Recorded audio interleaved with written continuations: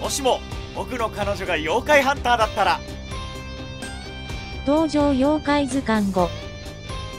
映画、もしも、僕の彼女が妖怪ハンターだったら、かっこかり。と、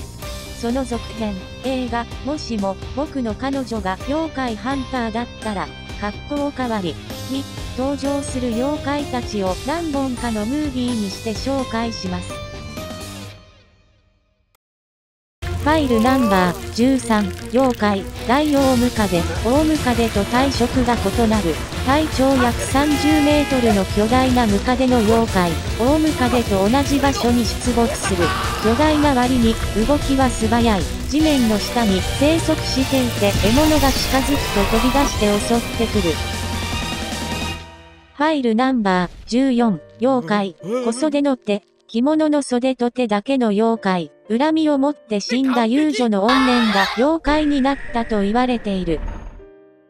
ファイルナンバー15、妖怪、ガシヤドクロ、巨大な骸骨の妖怪、ガシャガシャと骨の鳴る音をさせながら人を襲う、埋葬されなかった死者たちの骸骨や怨念が集まって、巨大な骸骨の姿になったとされる、少女を見つけると襲いかかり、食べると言われる、